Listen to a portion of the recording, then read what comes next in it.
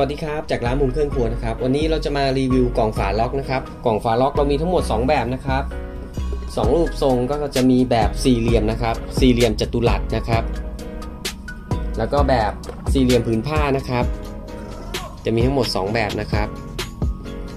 ทั้ง 2 แบบนี้สามารถเข้าไมโครเวฟได้ทั้งคู่เลยนะครับ สามารถเข้าไมโครเวฟได้ ทนความร้อนอยู่ที่ 120 องศานะครับ แล้วก็ทนความเย็นอยู่ที่ลบ 20 นะครับ สามารถเข้าไปในช่องฟิตได้นะครับ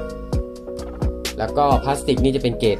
ที่สามารถใส่อาหารได้นะครับ ใส่ของสด ใส่อาหารต่างๆ ได้นะครับ เข้าไมโครเวฟ เวลาจะอุ่นสามารถเอาเข้าได้เลยนะครับ ยางตัวนี้นะครับทำมาจากซิลิโคนนะครับ ยางสีเขียวนี่ทำมาจากซิลิโคนนะครับ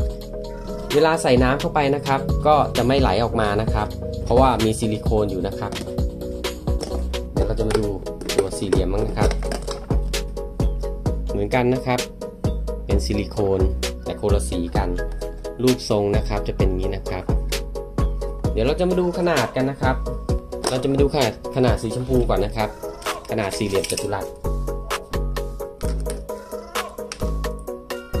ความกว้างจะอยู่ที่10 15.5 นะครับ ความกว้าง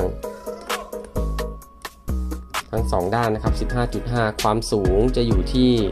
ประมาณ 8.5 เซนนะครับ เราจะไปดูสี่เหลี่ยมผืนผ้านะครับ สี่เหลี่ยมผืนผ้าก็จะมีความยาวอยู่ที่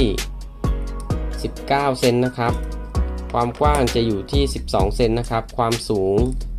อยู่ที่ 7 เซนนะครับ โดยประมาณนะครับ เดี๋ยวเราจะมาทดสอบการใส่น้ำนะครับว่าสามารถ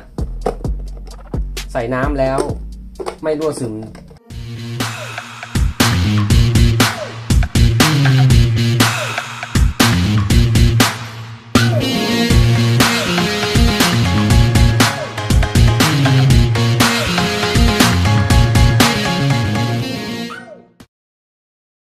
ครับผมขอจบรีวิวเพียงเท่านี้ครับ